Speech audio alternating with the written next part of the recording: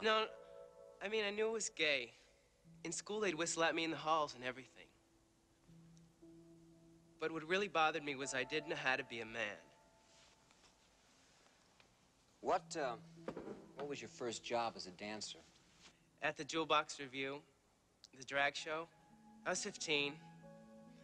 I went to audition, but they weren't interested in my dancing. They said, show us your legs, and they took me upstairs to this filthy rat hole, and they shaved my legs and put a pair of nylon stockings on me and high heels. There I was, in show business. The asshole of show business, but a job. What'd you tell your parents? I was a dancer in a show. Not what kind, of course. They couldn't stop bragging. Go on, Paul. And the show was going to Chicago. And my parents wanted to bring my suitcase down to the theater after the show to say goodbye, and I don't know why I said okay. Well, we were doing this Oriental number, and I was wearing this slinky Oriental dress and this enormous headdress with gold balls hanging all over it. And I was going down the steps for the finale when I saw my parents by the stage door.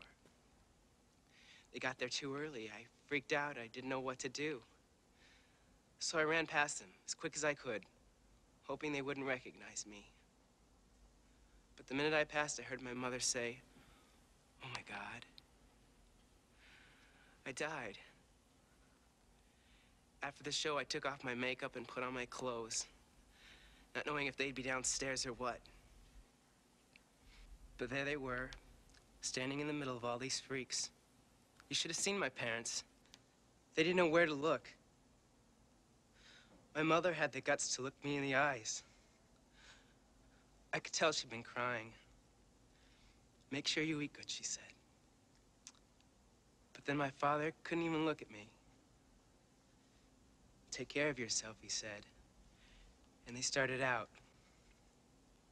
But then my father turned around and went over to the producer. Take care of my son, he said.